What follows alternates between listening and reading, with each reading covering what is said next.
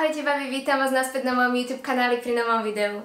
No a to dnešné bude pokračovanie môjho pravidelného formátu Outfity inšpirované, ale ak sledujete môj kanál dlhodobejšie, určite viete, že v minulosti som točila outfity inšpirované známymi filmami a seriálmi, No a teraz to budú outfity inšpirované známymi osobnosťami a modnými ikonami. Ja som sa teda rozhodla prvý diel natočiť o nejakej slovenskej modnej ikone a teda keď som sa vás na mojom Instagrame spýtala, koho považujete za modnú ikonu, tak nebudem preháňať, keď poviem, že 80% z vás zahlasovalo za našu šarmantnú pani prezidentku Zuzanu Čaputovú. No a ja s vami musím na 100% súhlasiť a teda k natočeniu tohto videa prispela aj skutočnosť, že mi už nespočetne veľa ľudí povedalo, že sa na seba podobáme. Dajte mi na v komentároch vedieť, či tam určitú podobnosť vidíte aj vy. Mne sa nedávno stala taká uh, vtipná situácia, že som prišla k môjmu zubárovi, k novému zubárovi a ten keď ma videl, tak predtým ako ma ošetril, ma poprosil, či sa so mnou môže odfotiť, pretože vraj ešte nikoho podobnejšieho našej pani prezidentke ešte nevidel. Každopádne, ak je toto prvé video, na ktoré ste natrafili ešte ma nepoznáte, moje meno je Daniela a tvorím videá o móde a o sebe rozvoji v rámci mojej rubriky Best Self. Ak vás teda jedna z týchto tém zaujala, budem veľmi rada, ak sa prihlásite na odber môjho kanálu. No môžete si zapnúť aj notifikácie, to je taký ten zvonček hneď vedľa odberu, tak aby vám žiadne moje ďalšie video už neušlo a aby ste boli naň upozornení. No a ak chcete mne počuť častejšie ako len raz do týždňa, môžete ma sledovať aj na mojom Instagrame ako Dana Havana. No a ešte posledná podstatná informácia, ak sa vám čokoľvek z dnešného videa bude páčiť, všetko je to z aktuálnych kolekcií, takže si to môžete kúpiť cez odkazy, ktoré nechám pralinkované v popise pod videom. Naša pani prezidentka je teda protokolárne najvyšším ústavným činiteľom štátu, čo mu pochopiteľne musí zodpovedať aj jej dress code. Prezidentská funkcia je teda reprezentatívna, to znamená, že prezident by mal reprezentovať nielen svojim správaním, ale aj svojim vzhľadom a obliekaním. Asi je verejne známa informácia, že takým dvorným modným dizajnerom našej pani prezidentky je Boris Hanečka, ale čo som sa dočítala, čo bolo pre mňa veľmi zaujímavé, je, že a svoje návrhy konzultuje s prezidentkynou, stylistkou, protokolistkou a aj pani prezidentkou. Takže je to taká tímová práca, ktorá vraj trvá hneď niekoľko týždňov a je to celkom komplexný projekt, odkedy je daný kúsok navrhnutý, až keď si ho pani prezidentka oblečie. V čase, keď sa napríklad pripravovali šaty na jej inauguráciu, tak sa vraj pracovala už aj na šatách na jej prvé oficiálne zahraničné návštevy. Takže naozaj uh, na jej outfitoch pracuje tým ľudí, pripravujú sa týždne uh, popredu a uh, teda podliehajú veľmi prísnemu protokolárnemu dress kódu. Zaujímavosťou, ktorú som sa dočítala, bolo, že naša pani prezidentka svoje outfity nehradí zo štátnej pokladnice, ale rozhodla si ich platiť sama. Len pre zaujímavosť, jedny šaty u Borisa Hanečku vraj stoja okolo 1000 až 1200 eur, ale tým, že um, vytvárať outfity a teda dizajnovať šaty pre našu pani prezidentku je lukratívna zakázka a Uh, dobrá reklama, uh, jej vraj Boris Hanečka spravil cenu a podľa toho, čo som sa dočítala, tak šaty od neho kupuje približne za 600 eur. Ja som tu teda už viackrát spomenula prezidentkin dress code a teda protokol, no ale ak neviete, čo si pod tým predstaviť, tak hlava štátu, či už sa bavíme o mužovi alebo žene, by sa na oficiálne príležitosti mala obliekať v dress code uh, formál alebo business formál. Pre mužov to znamená tmavý oblek, uh, biela košela s dlhým rukávom a kravata alebo motýlik. Takou analógiou pre ženy je sukňový alebo nohavicový kostým, prípadne púzdrové šaty, k tomu uh, pančušky a kožené lodičky s uzavretou špicou na stredne vysokom opätku. Celkovo by outfity uh, predstaviteľov štátu mali byť čo najkonzervatívnejšie, keď sa bavíme o sukniach a šatách žien, tak by mali byť maximálne dĺžkovo do polky kolien, ale dočítala som sa, že čím formálnejšia udalosť, tým by dĺžka šiat alebo sukne mala byť dlhšia. A keď som si pozerala fotky našej pani prezidentky, tak naozaj to dodržiava. Napríklad na svojej inaugurácii mala šaty dlhé až do polky lítok, ale na menej formálnych udalostiach má trošku kratšie šaty, ale nikdy nie kratšie ako do pol kolena. Čo sa farieb týka, tak muži by sa mali držať tých uh, tmavých odtieňov, a to hlavne tmavo modrá, tmavo šedá, prípadne čierna, ale už je je povolené nosiť aj oveľa výraznejšie, dokonca neonové farby. A stačí, ak si spomeniete na kráľovnú Alžbetu, ktorú sme už mohli vidieť v celej palete farieb, od tých pastelových až po tie kriklavé a neónové. Nie je to žiadne fópa a je to povolené, čomu by sa ale vysoko postavené ústavné činiteľky, teda hlavne hlava štátu, mali vyhýbať sú uh, príliš extravagantné vzory, potlače a mali by teda skôr voliť jednofarebné outfity. No a keď som si pozerala outfity našej pani prezidentky, tak aj toto protokolárne pravidlo teda dodržiava a v 90% prípadov má jednofarebné šaty, prípadne kostým a naozaj to nepreháňa ani s potlačami a ani s farebnými kombináciami. Ak to zosumarizujeme, tak tie outfity hlavy štátu mali byť čo najkonzervatívnejšie, najelegantnejšie a najreprezentatívnejšie. No a naša pani prezidentka je podľa mňa úžasným príkladom, ako by taká hlava štátu, hlavne žena, mala vyzerať a myslím si, že sa do histórie zapíše nie len tým, že teda prvou ženskou prezidentkou našej republiky, ale aj svojou garderóbou, hľadom a svojim šarmom. Takže toľko k tej teoretickej časti o obliekaní našej pani prezidentky k dress codu a protokolu. No a teraz sa poďme pustiť do tej stylingovej časti a pozrieť sa na tých 5 outfitov inšpirovaných našou pani prezidentkou. Prvý outfit, ktorý musím v rámci tohto videa spomenúť, je jednoznačne prezidentkin inauguračný. Bol to deň, kedy prezidentku sledovalo nielen celé Slovensko, ale aj zahraničné médiá, no a preto sa prípravám na tento deň vrátane jej outfitu venovala špeciálna pozornosť. Nádherné svetlo-modré šaty, ktoré mala pani prezidentka na sebe, pochádzajú z ateliéru Borisa Hanečku. Inšpiráciu pri návrhu šiat vraj hľadal v období Prvej republiky, ale aj v časoch Márie Terézie. Šaty majú hlbší historický, ale aj symbolický význam, a to hlavne riešením ich topu, ku ktorému Boris povedal, citujem. Odev má príbeh. Stuha, ktorá ide po lodičkovom výstrihu a vlieva sa do rukáva, symbolizuje Dunaj. Rozhodli sme sa tak, pretože Dunaj je rieka, je to voda, ktorá je symbolom intuície. Prináša veci nové, ale aj odnáša staré. Vložili sme teda do šiat aj túto šifru, ale je to veľmi podprahové. Model šiat pochopiteľne splňal všetky kritéria protokolu. Dĺžka šiat bola do polky lítok a aj napriek tomu, že sa inaugurácia konala v júni, šaty prezidentke zahalovali ramena tak, ako sa patrí. Čo sa materiálu šiat týka, ten musí byť podľa protokolu špeciálne vybratý tak, aby sa nekrčil, no a v prípade dažďa respektíve namočenia nemenil farbu. Šaty teda boli vyhotovené z krepu a splňali aj tieto požiadavky. Pani prezidentku sme v dene inaugurácie mohli vidieť v dvoch rôznych pároch lodičiek. Na cestu do katedrály svätého Martina a Omšu zvolila k šatám rovnaké bledomodré lodičky a vytvorila tak monochromatický lúk. Pri inaugurácii v Redute mala však k šatám biele lodičky, ladiace k jej bledej kabelke, ktorá je z brašnárskeho ateliéru Verbua, ktorý je vlastnený francúzsko-slovenským manželským párom. Kabelky z ich ateliéru vychádzajú podľa veľkosti okolo 1000 až 1500 eur. Ich e-shop nechám pralikované v popise pod videom. No a posledný kúsok prezidentkinho outfitu, ktorý sme mohli zaznamenať pri vstupe do katedrály, bol bledomodrý kabátik počitý tmavomodrým hodvábom, rovnako vyrobený na mieru. Kabatík bol vyrobený hlavne pre prípad zlého počasia, takže prezidentka ho veľmi nevyužila, ale mala ho znova oblečený aj vo Vatikáne pri stretnutí s pápežom na nádherných šatách v kráľovskej modrej, s ktorými tiež vyzeral úplne fantasticky. Inak pozrite, ako nádherne boli v deň inaugurácie doladené aj prezidentkyné céry. Zvolili krásne pastelové farby a spolu pôsobili naozaj ukážkovo.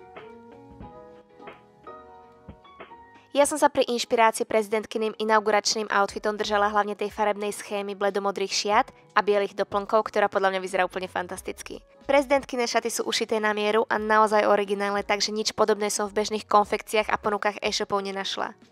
Keď som ale hľadala takéto midi púzdrové šaty, hneď ma napadla značka Closet London, ktorá vytvára nádherné, elegantné, či už pracovné alebo spoločenské šaty, no a medzi nimi som našla aj tieto bledomodré, ktoré sa s prižmúrením oboch očí podľa mňa na tie prezidentkyne aspoň trochu podobajú.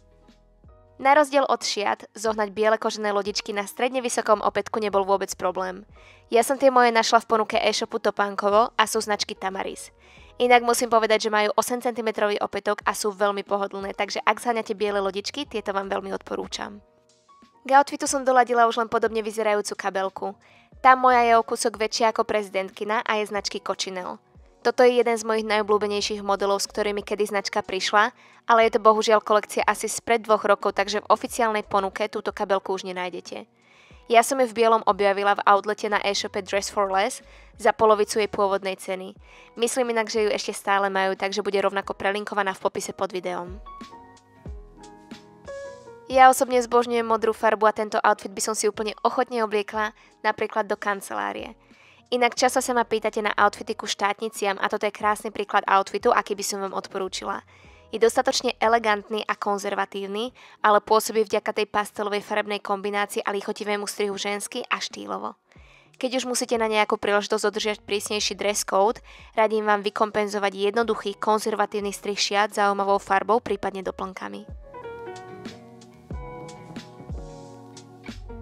Ďalší prezidentky na outfit, ktorý som ako inšpiráciu vybrala moje skalné sledovateľky určite neprekvapí, pretože je biely a monochromatický, čiže moja obľúbená kombinácia.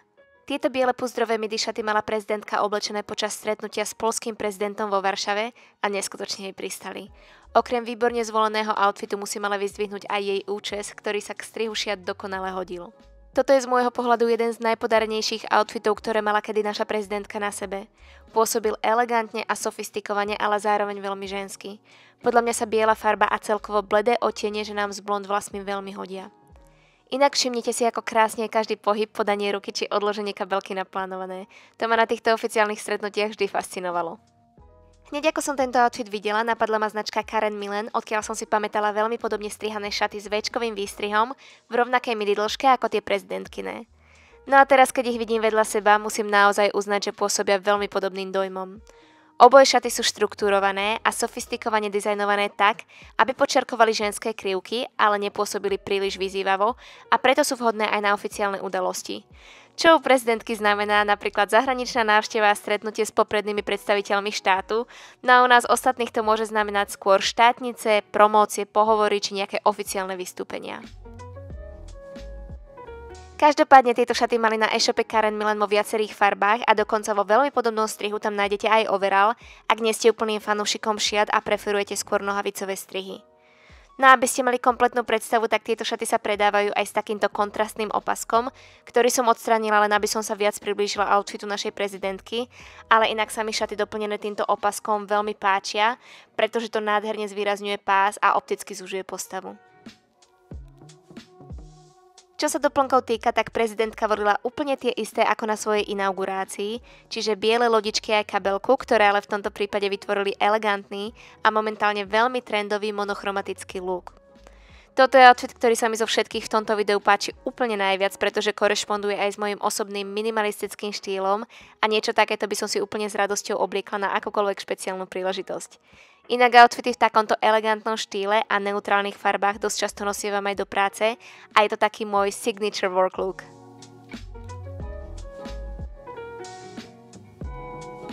Ďalší outfit, ktorý som vybrala, je trochu iný ako tie predchádzajúce, pretože nebol určený na špeciálnu udalosť, ako je napríklad inaugurácia či zahraničné cesty, ale je to prezidentkin outfit na bežný pracovný deň, čiže je oveľa menej formálny.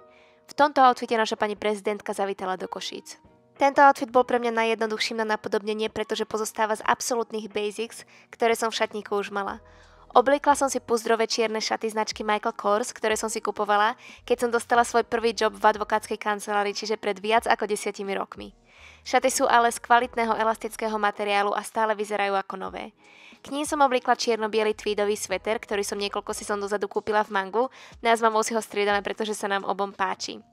K outfitu som potom už len uh, podľa vzoru prezidentky obula jednoduché klasické béžové lodičky, ktorých mám v šatníku hneď niekoľko, pretože sú mojou obľúbenou a najčastejšou voľbou. Topánky vo farbe pokožky opticky predlžujú nohy, plus sa ku všetkému hodia, no a naša pani prezidentka toho veľmi často využíva. Neraz sme ju už mohli vidieť v týchto telových lodičkách značky Mulier, ktorých cena je 222 eur. Zaujímavosťou je, že značku Mulier založila Slovenka Katarína Sásiková, ktorá robila vo finančnom sektore a po materskej sa rozhodla do korporácie sa už nevrátiť, ale založiť vlastnú značku. Jej lodičky si inak môžete kúpiť aj po jednom kuse, vraj ak by ste jednu z páru zničili a chceli by ste ju nahradiť. To je podľa mňa úplne perfektný nápad, pretože aj mne sa neraz stalo, že som si jednu lodičku zničila, druhá bola úplne v poriadku, ale ak som ich chcela nosiť, musela som nahradiť celý pár. Toto je inak ďalší príklad toho, že naša pani prezidentka sa naozaj snaží výberom svojich outfitov podporovať lokálnu tvorbu a lokálnych dizajnérov. Všimnite si, že aj keď máme s pani prezidentkou veľmi podobné outfity, ten môj je o čosi kratší. Ak by ste sa týmto outfitom tiež nechali inšpirovať, tak podstatné je, aby vaše šaty boli v rovnakej alebo aspoň podobnej dĺžke ako kabátik, ktorý si na ne oblečiete, bez ohľadu na to, akú dĺžku zvolíte. Vtedy táto kombinácia vyzerá podľa mňa úplne najlepšie. No a ak sa vám zdá čierno-biely outfit príliš nudný, tak s takýmto neutrálnym základom ako sú čierne koktejlky a béžové lodičky bude vyzerať super aj akákoľvek iná farba. Ak ale chcete docieliť sofistikovaný look, tak vám radím držať sa tweedového materiálu, aj keď v nejakej živšej farbe. Ten totiž vždy pôsobí prémiovo a na úrovni, takže je skvelou voľbou či už do práce, alebo aj na bežný deň, ak preferujete elegantnejší štýl. Ďalší z outfitov, ktorý podľa mňa stojí za zmienku, je tento, pozostávajúci z modrých šiat v kombinácii s čiernymi doplnkami, ktorý si prezidentka len 10 dní po svojej inaugurácii obliekla do Bruselu na stretnutie s generálnym tajomníkom NATO a predsedom Európskej komisie. Tento outfit bol podľa mňa na danú príležitosť výborne vybraný, farbovo aj strihovo. Na tej istej návšteve sa stretla aj s belgickým kráľom Filipom, ale na túto príležitosť si prezidentka obliekla oveľa romantickejšie a ženskejšie šaty s rozšírenou áčkovou sukňou v pudrovej rúžovej. Obe šaty sú z dielne Borisa Hanečku. Ani tento outfit nebolo pre mňa až také ťažké napodobniť, pretože som čierne doplnky vo svojom šatníku už mala a zhaňala som v podstate len púzdrové midi šaty v kráľovskej modrej. No a najvhodnejším miestom na takéto elegantné pracovné šaty je rozhodne Karen Milan, kde som tieto krásky aj zohnala. Okrem toho originálne riešeného topu s aktuálne veľmi trendovými výrezmi sú celkom vernou kópiou tých, ktoré má pani prezidentka na sebe. No aj napriek tomu, že sú šaty v midi dĺžke, vďaka svojej elasticite sa v nich veľmi pohodlne chodí a hýbe. To je podľa mňa celkovo pri využených šatách veľmi podstatným kritérium, na ktoré by ste pri ich kúpe mali prihliadať. Karen Milan je známa kvalitou a detailným prepracovaním svojich dizajnov a nie je tomu inak ani pri šatách, ktoré som na účely tohto videa objednala. Musím povedať, že aj napriek vyššej cene som presvedčená, že do kúskov tejto značky sa oplatí zainvestovať. Sú to nadčasové dizajny, prémiové materiály a naozaj lichotivé strihy. Ak ste videli video, v ktorom som značku Karen Milan testovala, tak určite viete, že som kritizovala colné konanie, ktoré doručenie mojej objednávky extrémne predlžilo a cenu šiat predražilo. Čo ma ale tentokrát prekvapilo, že moju objednávku poslali UPS kuriérom a nie poštov ako minulé, colné konanie bolo do troch dní vybavené a nedoplácala som žiadne clo. Takže ak vás colné konanie od objednávky z Karen Milan odrádzalo, tak moja skúsenosť je, že to viac už nie je problém. Ale naspäť k tomuto outfitu. Veľakrát som sa stretla s názorom, že modrá a čierna sa k sebe nehodia. Tento outfit je ale podľa mňa krásnym príkladom toho, že nie vždy to platí a dovolím si tvrdiť, že odtiene tohto outfitu k sebe nádherne pasujú. Moje lodičky sú z ASOS a ešte stále sú dostupné, takže vám ich prelinkujem. A kabelka je retro kúsok po mame v dizajne, ktorý je momentálne znova trendy, takže tu vám bohužiaľ už neprelinkujem, ale pokúsim sa nájsť čo najpodobnejšiu. Či už ale tieto, prípadne úplne iné, čierne lodičky a čierna kabelka sú absolútnym základom šatníka, ktorý viete vynosiť na milión rôznych spôsobov. Takže ak také ešte nemáte, toto video považujte za znamenie si ich do šatníka doplniť. Neviem ako vám, ale mne si tento outfit neskutočne páči. Či už ten prezidentkin originál, alebo ten môj prezidentkov inšpirovaný.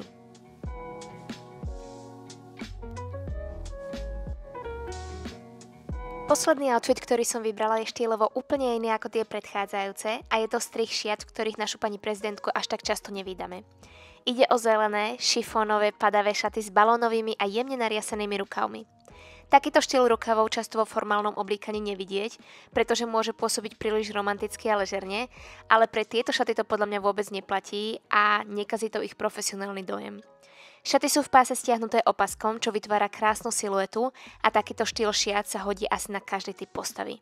Takže ak by ste niekedy váhali, aké šaty pre seba zvoliť, toto je stavka na istotu. Zároveň sú takéto šaty oveľa pohodlnejšie na pohyb než obtiahnuté púzdrové, takže sú super alternatívou, ktorá ale stále splňa všetky prísne protokolárne požiadavky formálneho dress kódu. Pani prezidentka mala najskôr k šatám obuté telové lodičky, ale neskôr sme ju mohli vidieť aj v zelených lodičkách presne pasujúcich k farbe šiat. No a keďže ja mám slabosť na monochromatické outfity, rozhodla som sa inšpirovať práve týmto. Keď si z mojich šiat odmyslíte tie pestrofarebné kvety, myslím, že strihovo som sa úplne trafila. Tieto šaty som zohnala na e-shope ASOS a aj keď som si pôvodne myslela, že bude problém šaty v tomto strihu a v tejto farbe zohnať, našla som ich toľko, že som vlastne nevedela vybrať, ale tieto boli tým prezidentkým úplne najpodobnejšie. Lodičky som doladila tón v tóne v tyrkysovej farbe. Zohnala som ich na e-shope Topánkovo, kde majú na výber lodičky doslova vo všetkých existujúcich odtieňoch. Takže ak by ste niekedy zháňali nejakú neštandardnú farbu, odporúčam vám pozrieť tam.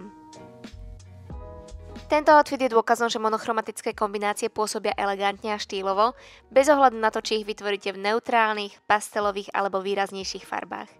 Ja osobne na monochromatické obliekanie nedám už roky dopustiť, pretože nie len, že to super vyzerá, ale ešte to aj ráno šetrí čas pri obliekaní, pretože len povyberáte rovnako alebo podobne sfarbené kúsky a ste behom pár sekúnd ready to go.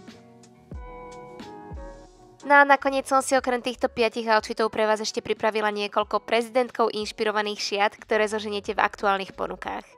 Ešte raz pripomínam, že úplne všetky nájdete prelinkované v popise pod videom.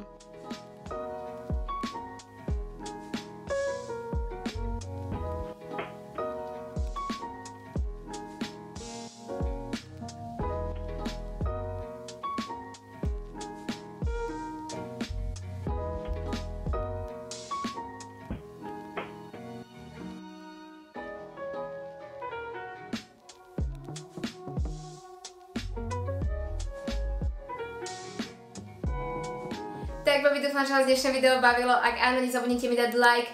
Naozaj vám za každý like budem veľmi vďačná, pretože tým mi dávate vedieť, či vás takéto videá bavia, či mám niečo podobné točiť aj do budúcna.